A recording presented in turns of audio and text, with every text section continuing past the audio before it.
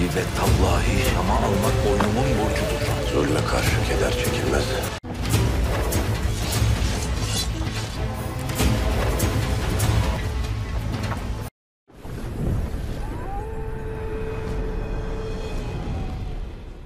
Selamün aleyküm arkadaşlar. Selahaddin Eyyubi 20. bölüm bugünkü videomuzda sizlere bunu anlatacağız. Kanlı Bernard neden Selahaddin Eyyubi ile ormanda buluştu? Kanlı Bernard'ın adamları arasında Selahaddin'in casusu kim? Bugünkü videomda size anlatacağım. Bu yüzden videoya başlamadan önce sizden rica olunur. Kanalımıza henüz abone olmadıysanız lütfen videoyu beğenerek kanalımıza abone olun. Selahaddin'in casusu hakkında konuşun. Yani Musab'ın şehadetinden sonra Sofya'da açığa çıktı. Bu nedenle yakında Selahaddin'in yeni bir casusu gösterilecek. Son bölümün sonunda Bernard'la birlikte görülen bu kişi bir casus gibi görünüyor ve bizce bu Selahaddin'in casusu olabilir. Yakında dizide Ali bin Süfyan rolünü göreceğiz. Bu büyük bir tarihi rol ve o Selahaddin'in casusuydu. Bu kişinin Ali bin Süfyan olması muhtemeldir. Selahaddin ve kanlı Bernard hakkında konuşun. Fragmanda Bernard'ın ormanda Selahaddin ile tanıştığı görülüyor. Ayrıca bir cansız beden de görülüyor. Bundan sonra kanlı Bernard'ın Zangi Sarayı'ndan atıldığı ortaya çıktı ve saray artık kanlı Bernard tarafından işgal edilmiyor. Aksi halde böyle bir savaş ortamında kesinlikle Selahaddin'i karşılamak için ormana gelmezdi. Selahaddin şehitlerin naaşlarını Bernard'dan almak için ormanda onunla buluşmaya gelecek